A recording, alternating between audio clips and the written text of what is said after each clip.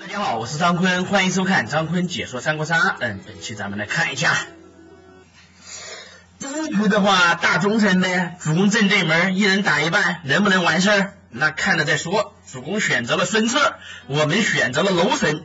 陆神将啊，在孙策局相当于是多一重连营的保障，卡连赢了以后自霸，对不对？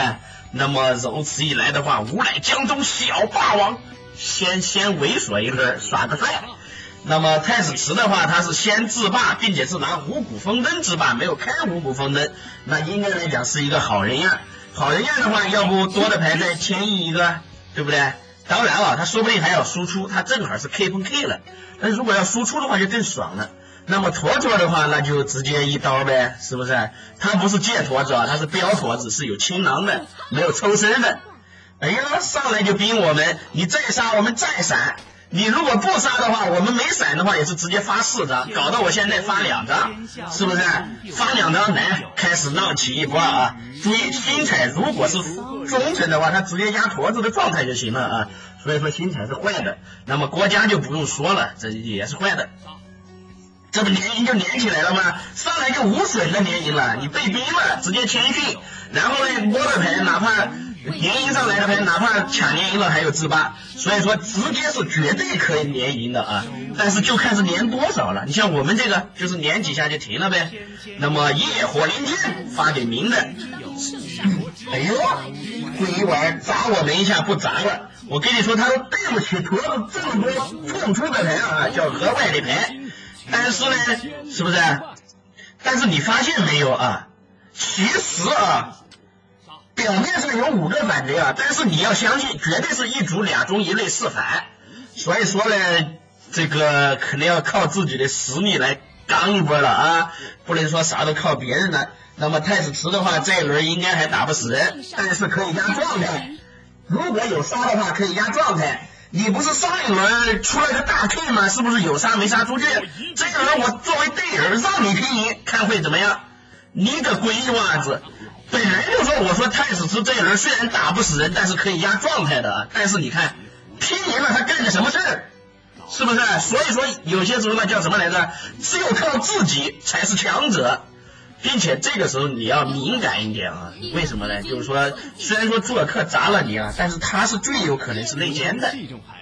他是最有可能是内奸的，在驼子牌一出的情况下，他没有继续砸你，给你留了一条活路。那么正是这一条活路，要拯救苍生于危难的吗？来吧，肩负起你的责任，闪电，然后没抢连赢啊，抢连赢了以后才自霸。他这个地方以少打多，没有强开五谷啊，比较温柔。等他这个地方过拆的话，还是按正常的拆了朱尔克的马车，害怕马车出问题或者怎样怎样拆了他。其实应该拆新彩的沈佳宜，或者是拆别人的刀啊，或者拆手牌，要考虑一下朱尔克是内奸的问题啊。这个地方没有一一考虑。嗯，行吧，这个家伙那正好，反正算是保个命了呗。孙策即使不救命，也算是保得住。还有要注意啊，这个伞是不抢连赢的。这个闪是不抢连赢的，为什么这样说？因为你有一个闪电在，所以说这个时候你孙策就使劲的打输出，打得死就打，打不死给我打残，剩下的干什么？交给我了。你说你一个鬼娃子，这也没有那也没有，出这么大的口气，那你觉得我这一局会输吗？对不对？迷人都知道不可能输掉的，主是点光环。所以说，夜火连天，一定要发动千军连营，不然三抢连营了。来吧，剑剑齐发，看你们谁谁那个掉。国家的话肯定暂时死不掉，他会跟驼子那个猥琐的活着的，这个你放心。但是我就不相信，我使劲的打输出，我看你还能怎么样？一个不够，再来一个，再来一个不够，记得去拿那个连女，不要拿那个长刀了，要要激进一点啊，好吧？没有不要紧的啊，有那个先打死他再说。注意，驼子只要死掉，反贼就没有几个逃了，知道不？所以他是可以死掉的啊，可以死掉的。也不过如此。再来一个，这个时候还关你是不是内奸了？是不是内奸也打，往死里打。来，骑上我们的负一马，雷莎走一波，啪啪。之前开过万剑的啊，直接就是啪啪的。我跟你说，那么如此一来的话，这个。又倒一个，他有些时候啊，墙倒众人推，琥珀众人锤，琥珀众人锤，是不是？所以说坨子只要倒了，郭嘉作为卖血娘一刀就杀死他了，对不对？那像马谡这种残活的，一个南蛮一打就死，他就有这个特点在里边。所以说啊，做客还真是内奸。就是我的推断是没错的，但是这个家伙他由于比较强势，我管你谁是内奸，全部打死再说，是不是？那这样一来的话，就是拿一个桃子劝降呗，直接就劝他降了。当然他其实投不投降都无所谓，我们也有杀，主公也有丈八，他绝对走不过去的，是不是？那么也是不负众望，作为主动担当，担当起整个主中方的一个顶梁柱一样。轻松的获得了一局的胜利，你发现了没有？那么这一局的话，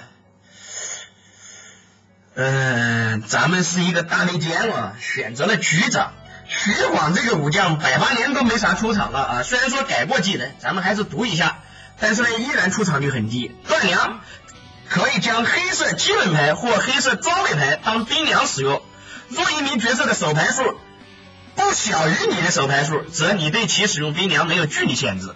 所以啊，以前的话是能直接相当于兵的时候有一个负一，对吧？贴兵的时候有一个负一，但是现在他没有这一项权利了，他改成了是手牌是不小于我们的，我们可以无距离的兵他。那么当然，其实加了一个第二个技能截肢锁定技，一名角色跳过摸牌阶段后，你摸一张牌。注意啊，不是说你兵他兵中了以后你摸一张牌啊。如果是因为其他原因跳过摸牌阶段，我们也是摸牌的。但是最主要的原因就是这个冰凉寸断，当然还有技能跳过摸牌阶段的都有啊，都是可以摸牌的。那么杀了楼等也直接弃牌，但是他反贼跳出来了啊，虽然说没有血迹，有可能是手残了呀，对不对？自己在说我草字头也不知道啥意思。听我一言。哎呀，小伙子们可以啊，你们这帮人。须臾之间，鼓鼓风灯，哎呀，拿一个破桃，其实他们。我感觉这个鼓鼓风灯啊，就是纯新手本事，你发现了没有？你前面四连反，你跟我说开鼓鼓风灯，你是怕我们主东方的反击不够呀，还是说咋回事啊？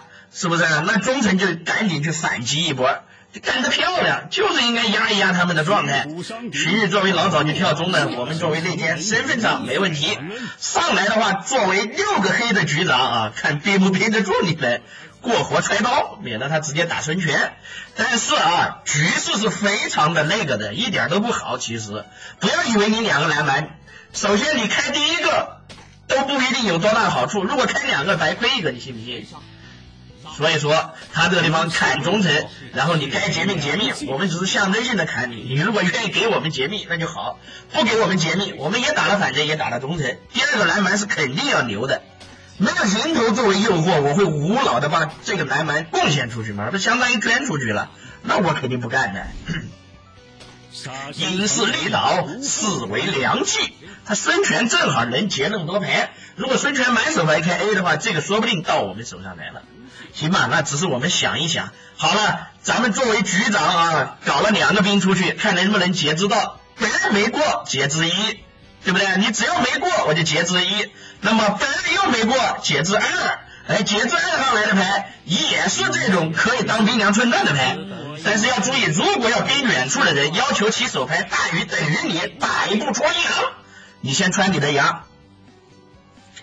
那么谁会啥都不做吗？不可能，他该打输出打输出，该补牌补牌。那这个时候蓝牌开出去，说不定就有希有那个赢头的诱惑，会不会开呢？哎，开出去了，那啥意思啊？你别说我内奸坑你反贼了，我不打死你太子吃，你太子吃孙权的人头，你信不？是不是？所以说这根本就不能怪我们内奸。局势走到这儿来了，你们贡献为内奸的人头，作为后话的话，你们要感到骄傲了。为什么？因为我知道这一局内奸要赢，他们可能现在还不知道，但是我作为一个经验，不赢的话不会投梗来看，会赢的，赶紧跳泪啊！这收人头也是情况，该我们到了。该走到我们收人头的这个地步了，然后呢，连主公也直接兵起来，连这两个反贼不经打就那啥就崩了。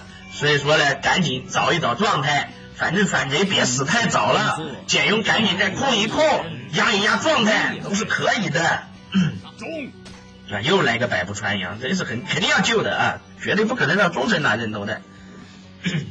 哎，这个年头你不能小瞧他。你说黄忠没牌，我怕啥呢？有了吗？啊，是孙权的。那如果将来在哪一天呢？是不是？所以说这个是被乐了，没有过。你要是过了的话，打不起荀彧球了，打不起了。那么也别急着收领土了，争取让他自己再防一下。比如说孙权杀他，可能还有散九桃呀。简雍看能不能还贡献一个呀，对吧？当然我们的那也没过，反正你说这个领土死的不冤，死的不冤，搞了这么多招把他搞死的。那简雍的话，最起码把黄忠压一压吧，别的不要求了，行吧？哎呀，还来个一杀二，三个扇子。因势利导，这个时候就看到底这六张牌有几个三了啊！我跟你说，黄忠他现在狠得很啊，逮谁都是加伤害。哦，还行还行，这个连弩没有一个真三，换丈八以后不能强中，有惊无险。所以说，你说内奸能赢，那没有人品因素，那是绝对不可能的，是吧？这还是有很强的人品因素在助我们了啊，保我们一臂之力了。之前的时候已经在那求过桃了，这一次应该就不要再求桃了，行吗？要求不高吧？这时候简雍多顶一会儿，把黄忠先磨死，进一个主内反，然后主内反的时候，孙权的状态不要太好，作为一个孙权局后期。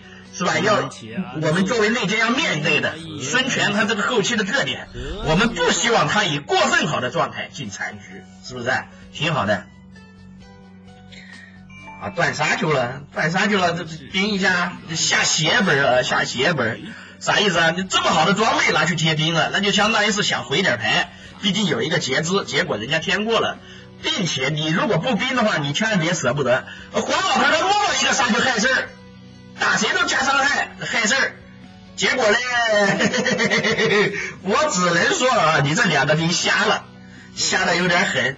要不砍一刀？对，砍一刀，争取简雍。反正你有事你就干，没事的话你拼靠一个牌。反正就是别让我们后期压力过分的大，我觉得就成，行吧？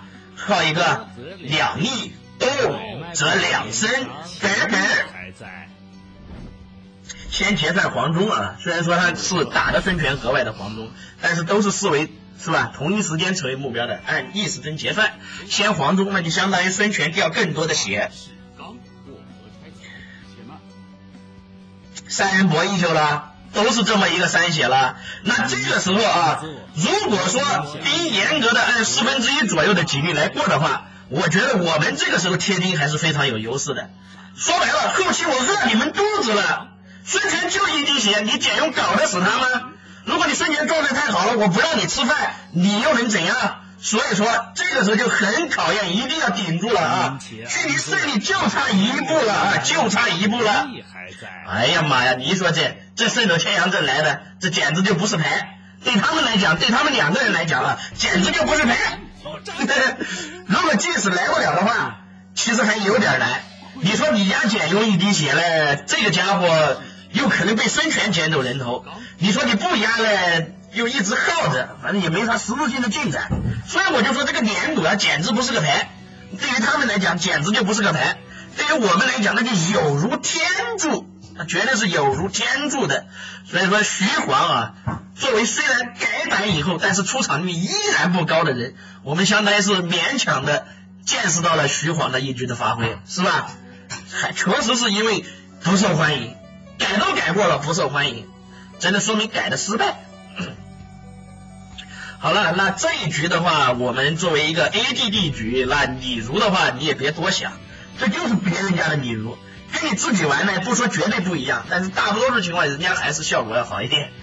大喊一声慢，作为前卫忠臣啊，上来啥事不干，抱两个铁锁，我就问你们怕不怕呀？同志们，你们怕不怕啊？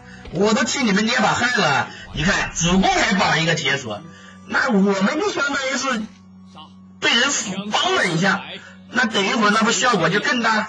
因为主公绑的这两个应该是比较那个的，剩下的都有可能是中类，你发现没？所以按排除法的话，这两个是反击的几率最大。解锁一绑，算了，一个都不留得了。让这一切，刘峰说：“赶紧被烧了得了，因为后面无论谁顶不住，到时候刘峰都是要掉血的。他直接被烧，他只用被烧一次，但后边的人上来就被烧，然后后来还要依次结算丢牌丢牌之类的，丢不起的又得被烧。主公叫臣死，臣送一个解命。哎，啊，臣不解命了，臣直接送情商。能不能捡一个人头？捡一个银头呗。中中生有，你你好像还没灭迹啊，你好像还没灭迹。来吧，这样一来的话还有决策，曹丕的牌还不少。当然了，我们没说就这么完了啊，这决斗都是可以打输出的。然后呢，把这个赵云给他撤死，我管你谁是忠谁是内了，对不对？直接给他撤死，手上留一个灭迹牌，到时候来灭迹这个真机。是的啦，所以说这效果就是你你所见到的，那就是这么好，对不对？啊，你主公不打是好事，说明稳当。稳当的话，我们就不用操心了。来吧，我最喜欢落井下石，测死他！我有杀我不杀，我要测死他。就拿命来填。无路可走，那就拿肉来尝，是不是？喜欢落井，哎，最喜欢落井下石，这个家伙的台词，听听劲儿啊！当然友情提醒一下，今天的视频其实就已经结束了。那么，如果要提醒一句话的话，那就是视频下方红色字幕坤姐的战旗 TV 直播间，搜索主播昵称湖北张坤二零幺八，或者直接访问战旗点 TV 一斜杠 SP 张坤。好的，谢谢大家。